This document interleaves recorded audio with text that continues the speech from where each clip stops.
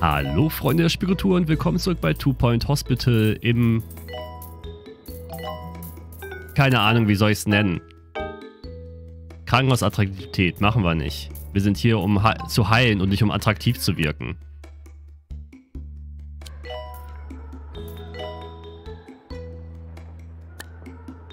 So, Krankenpfleger, haben wir irgendwas...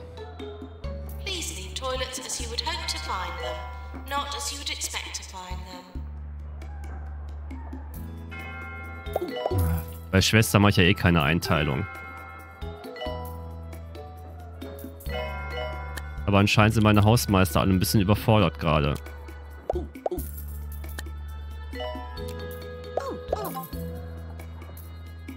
Und in der Chirurgie sterben vielleicht ein paar viele Leute.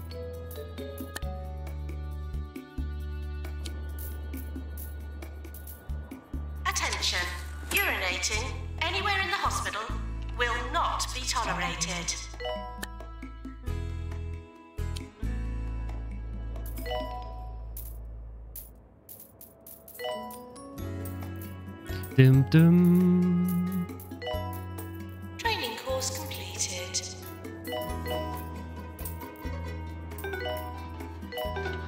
Meine Güte, das macht mich alles fertig hier. Ja, Chirurgie hat wir, haben wir nicht gepackt. Weil wir haben zwar viele Chirurgen und viele Chirurgien, aber die arbeiten nicht so schnell und effizient, wie ich das gerne haben wollen würde.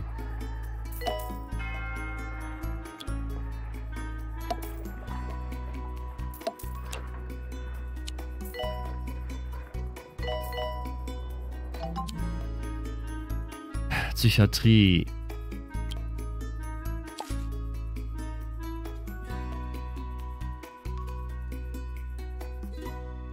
Mechanik 2 und 3, Kundenbetreuung 2 und 3, nee, nee, nee. Allgemeinmedizin 3.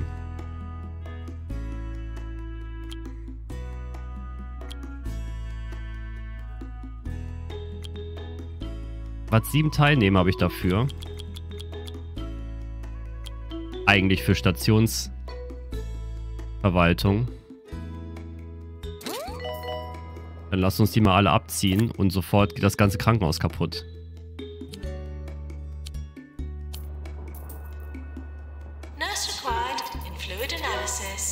Wir müssen ja eh 30 Leute weiterbilden. Was halt wirklich schwierig wird, sind die wundervollen 90% Heilungsrate. Für die drei Sterne. Das ist das, was wirklich das Schwierige ist im Moment.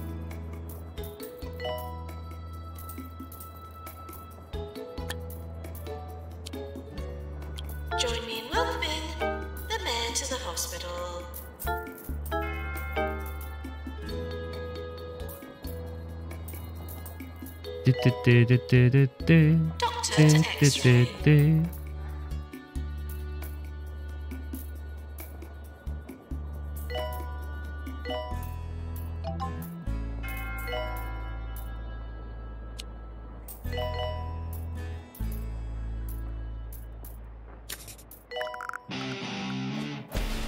Harrison Wolf on Two Point Radio.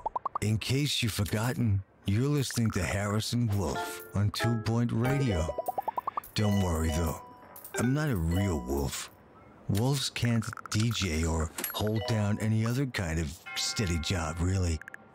That should have been your first clue. Er hat gerade wirklich erklärt, er ist kein echter Wolf und man muss keine Angst vor ihm haben, weil Wölfe können keine Mikrofone halten.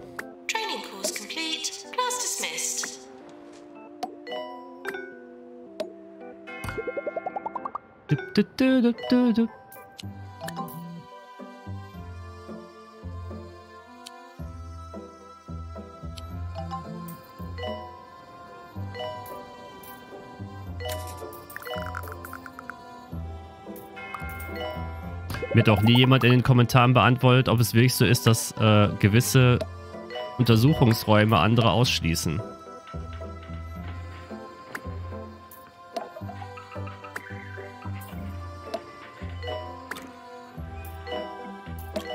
Also, dass ich alle durch die Radiologie jage.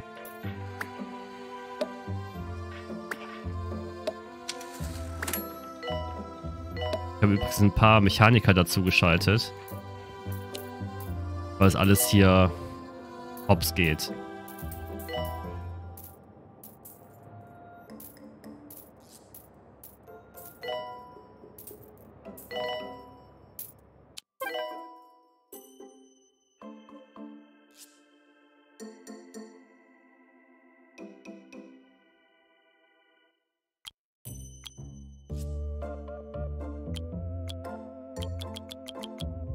Lernt euch alle Instandhaltung 2.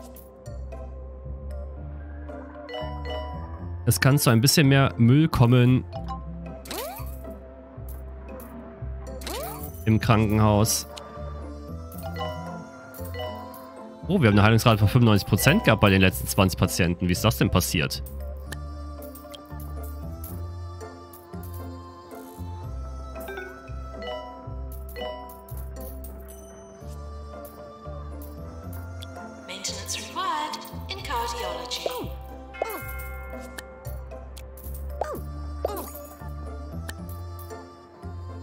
Zweistellig X2. Erreiche Krankenhausstufe 20. Hm.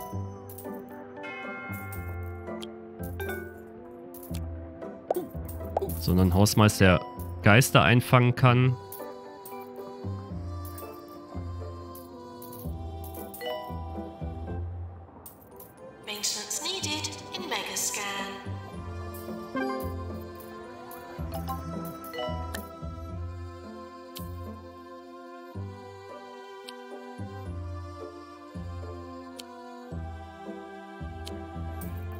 Auch einfach sehr gute Leute einstellen, egal ob die qualifiziert sind oder nicht. Das ist ja nur ein Bonus. Wenn die auf der höchsten Stufe sind, glaube ich, als Chirurg oder sonst irgendwas, bist du von der Personalkompetenz schon gut, gut bedient.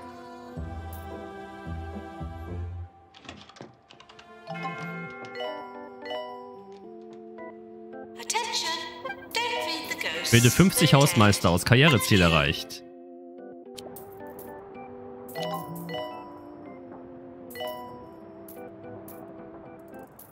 Anybody spot Mayor Tabitha Winsock today as she visited one of the county's hospitals? Hey, it's never too early to canvass for the next election, right? Okay, ja.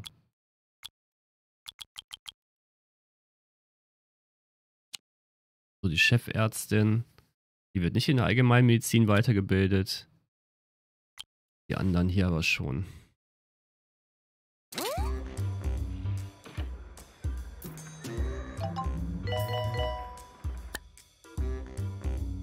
Sechs Patient mit Beinauer.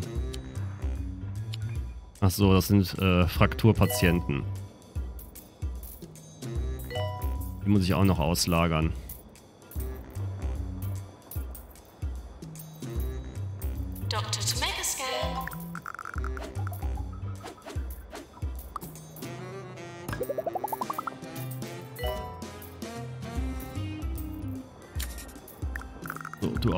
Oben. Oh. Juhu! Drei Sterne Krankenhaus.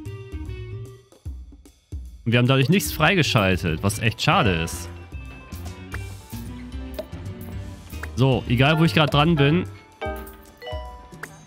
Fick dich Krankenhaus. Wir ziehen weiter.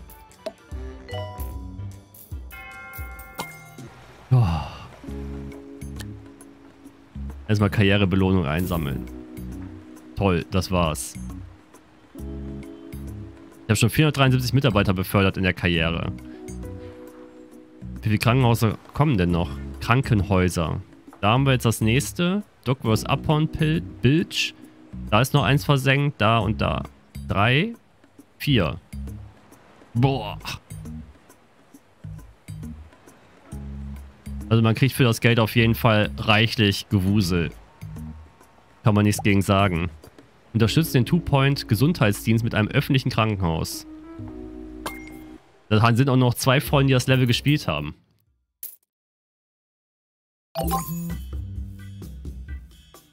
Gesundheitsminister Tarquin Foxbridge hat uns um Hilfe gebeten. Das öffentliche Gesundheitssystem TPHS hat größere Schwierigkeiten. Das Hospital von Duckworth, eines der wenigen verbleibenden öffentlichen Krankenhäuser, hat seinen Leiter verloren. Lord Foxbridge hat vorgeschlagen, dass wir diesem öffentlichen Krankenhaus verwaltungstechnisch unter die Arme greifen. Das könnte sich für uns alle als vorteilhaft erweisen. Stups, stups, zwinker, zwinker. Falls wir die Ziele des Ministeriums erreichen, erhalten wir einen Teil des Country-Gesundheitsbudgets. Allerdings erhalten wir keinerlei Einkommen für Diagnosen, Behandlungen oder Verkäufe. Das könnte interessant werden. Ach du Scheiße.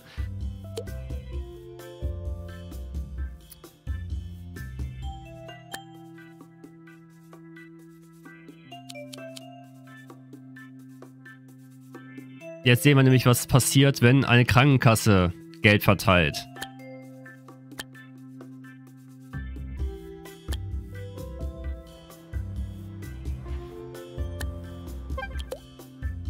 Lord Fogvis hat uns die Details unserer Ziele für die nächsten Monate mitgeteilt. Sie, die Zusammenfassung unten. Diese Ziele müssen wir erreichen, um zusätzliches Mittel, Mittel zur Unterstützung des Krankenhauses zu erhalten.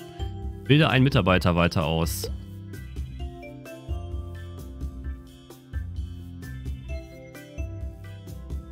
Ähm...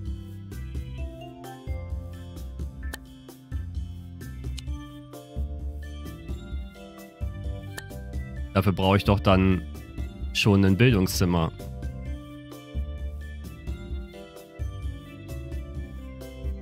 Beziehungsweise das Schulungszimmer, wo ist es? Was haben wir überhaupt an Personal hier? Wow. Ihr seid kacke.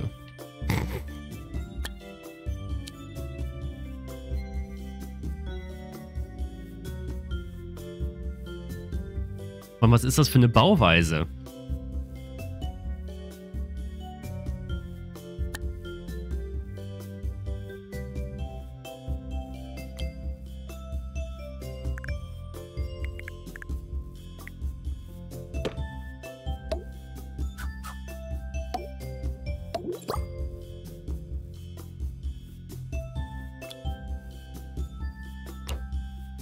Ich weiß sogar nicht, ob es hier warm oder kalt ist. Moment.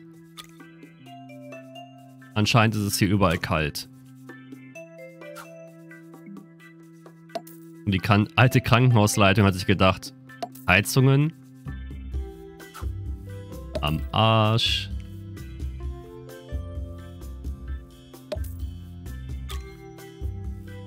Hauptsache überall Fenster reinklatschen, ey.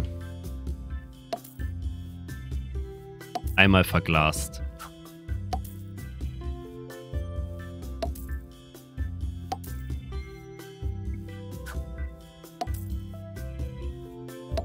Es sieht ja ganz süß aus, wie es eingerichtet ist hier. Nicht so effizient. Effizient wie meine Krankenhäuser.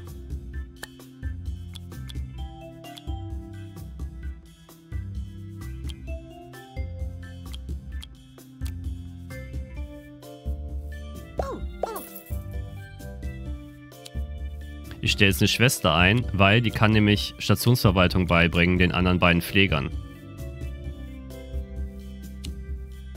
Beziehungsweise einen der anderen Pfleger. Dann können wir nämlich Geld sparen. Warum soll ich jetzt 5000 bezahlen für einen... Nee, oder 10.000 für einen, der für, von extern kommt. Wenn das auch jemand machen kann, der hier dann arbeitet.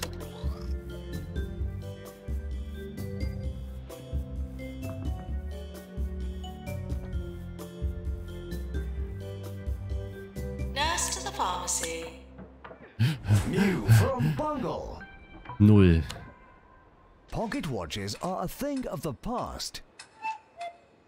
Now is the time for Rocket Watches. Ich glaube, das wird das erste Mal eine schwierige Mission werden.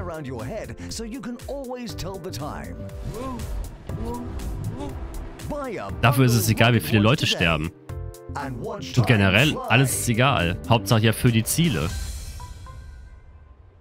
More two point. More often. This is Two Point Radio.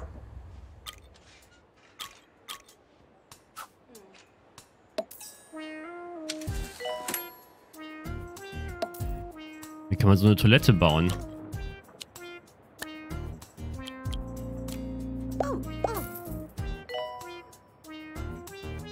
Es fehlt ein wenig an Krankenpflegern.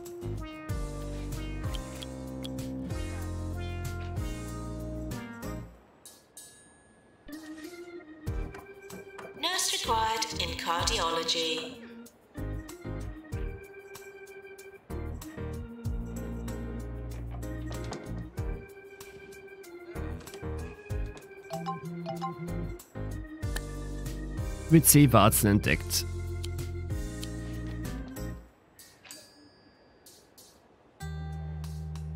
Die, die, die. Die, die, die.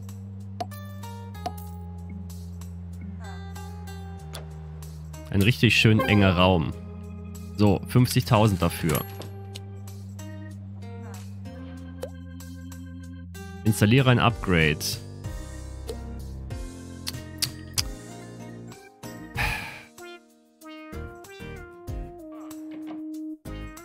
Brauche einen Hausmeister mit Mechanik.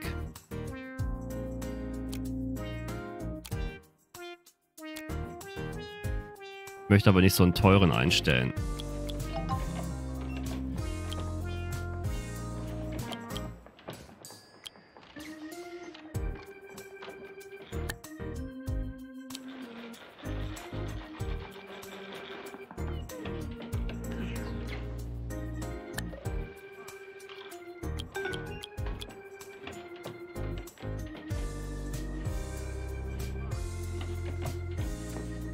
Guck mal, perfekt.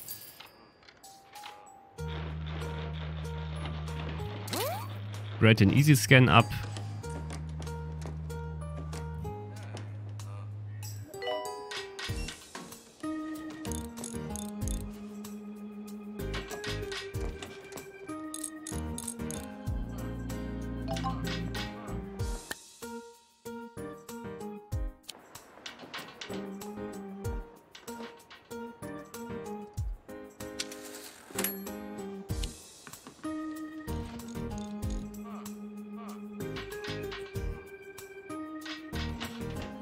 Bla bla bla. Viele Mitarbeiter haben freie Weiterbildungsplätze. Klar, wir holen jetzt erstmal vier Patienten für Chirurgie, ey. In unser kleines Vorortkrankenhaus. I ruined the cake, and I don't think my car will ever be the same.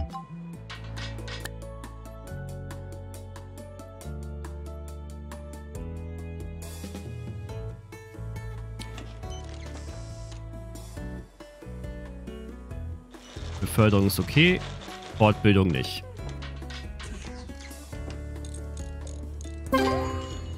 Sehr schön. Da kriegen wir neue Mittel.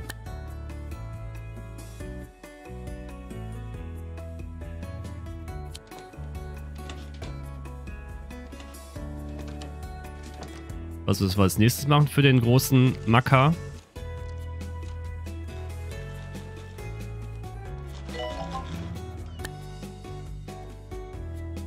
Bilde einen Arzt aus.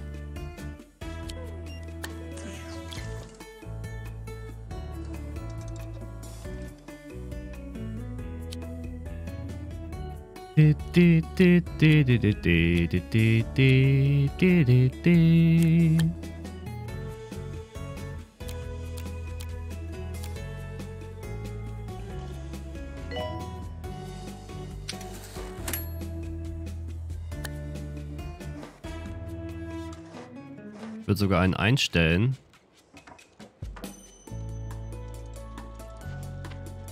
Wenn er sich mit Allgemeinmedizin auskennen würde. Na gut, dann bilden wir die vorhandenen aus.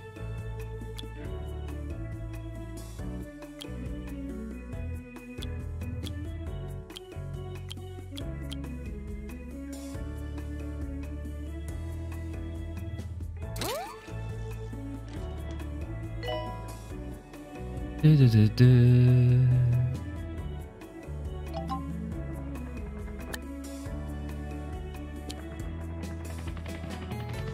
Gesundheitsinspektor kommt.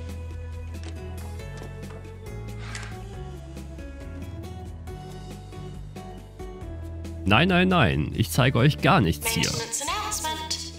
Ich zeige euch jetzt water. 36 Tage dieses weiße Blatt. Und dann wisst ihr letztendlich, wie Allgemeinmedizin funktioniert. Denn das alles ist hier fake. Die Leute sind gar nicht krank. Sie denken nur, sie wären krank. Das ist alles eingebildet.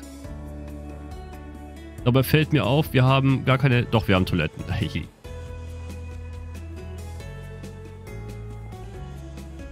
Einfach nur das machen, was gefordert ist.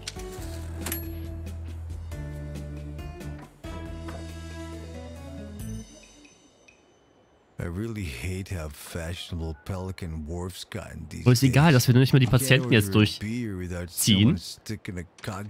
Weil- Was soll's? Naja, stellen wir einen ein. Dr. Robert, der Arzt, dem die Frauen nicht vertrauen. Bitte setzen Sie sich erstmal den Stuhl an. Äh, was? Nein. Ich meine, kommen Sie doch rein. Ich will Sie behandeln. Der nächste bitte. Ich habe so ein Kratzen im Hals. Ziehen Sie erstmal die Hose aus.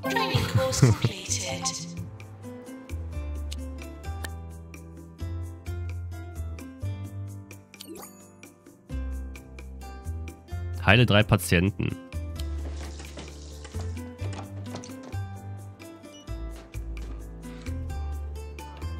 Wie soll das denn passieren? Habe ich mal den Medikamentenmixer vor, vorangebracht. Fülle acht Verkaufsautomaten.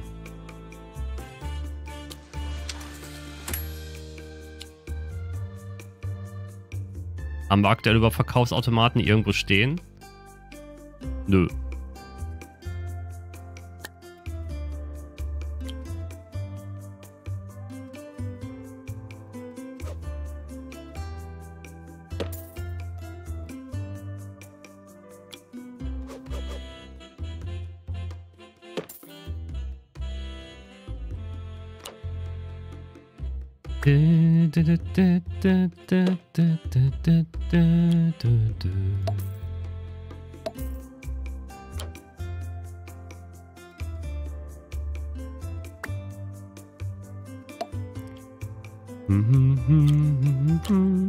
Du machst das schon.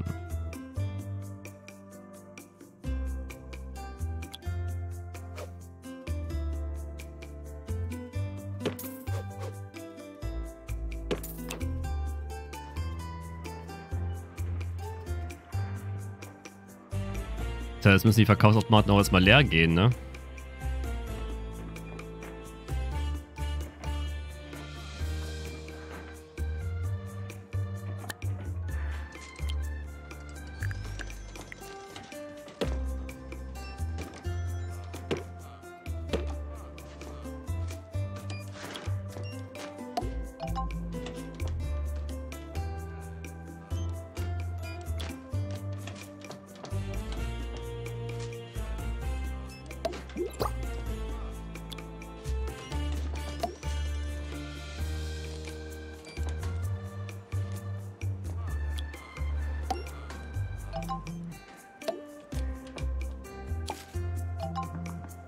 General diagnosis.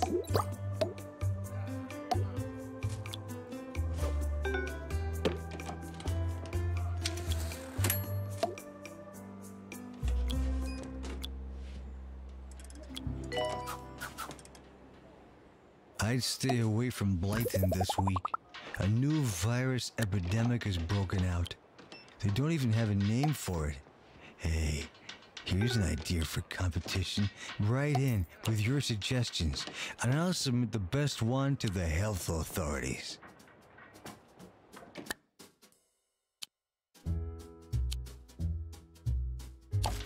Ein Patient mit Stromschlag. Was schicken die mir solche Sachen?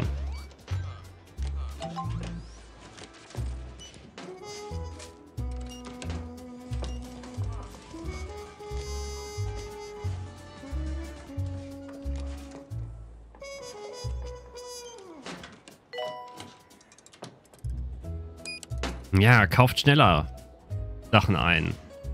Ach, selbst davon kriegt das Geld nicht.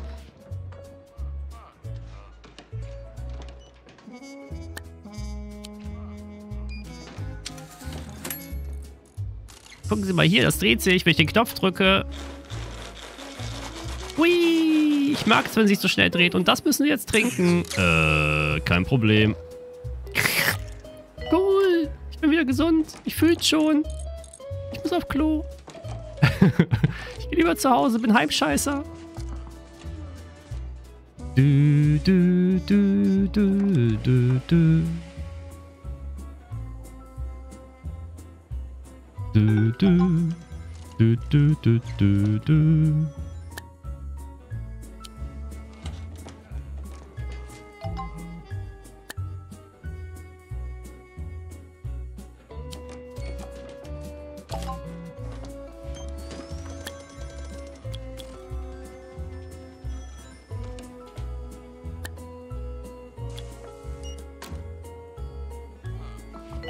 Herzhaft größer als süß.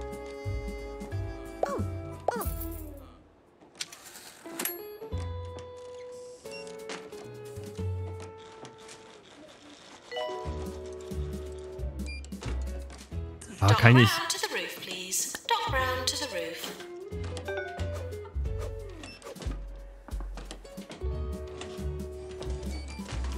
Irgendwie die Leute dazu bringen, mehr an den Automaten ranzugehen? Kann ich nicht noch trockenere Snacks verkaufen?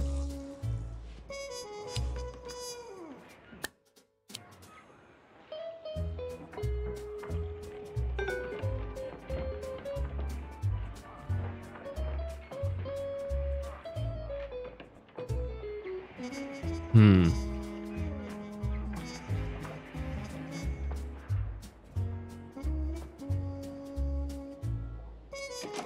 Hm, der braucht eine Psychiatrie, das sehe ich jetzt schon.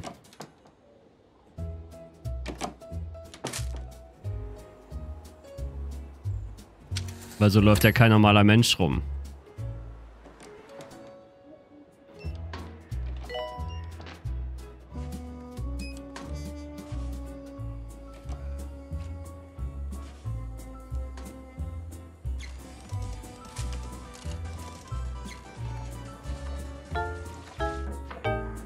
Juhu, ein Toter.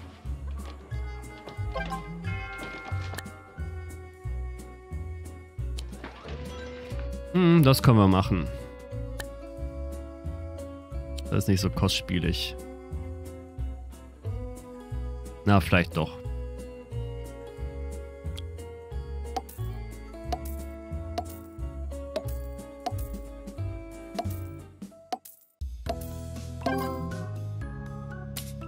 Theoretisch können wir jetzt aber auch die Sachen wieder verkaufen und das Geld einnehmen.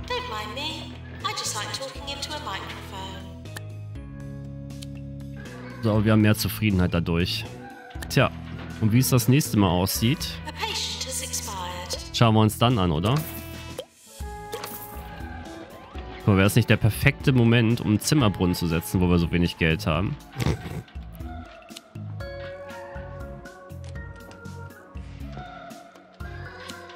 Nee, hier wird nicht weitergebildet.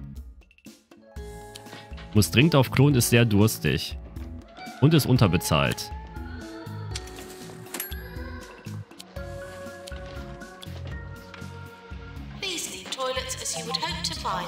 Ach so, das ist der, äh. Assistent, der vorne sitzt. Ja, wir können noch einen anderen günstigen einstellen. Du kannst nach Hause. Psychiatrie ist nämlich nicht unser Ziel.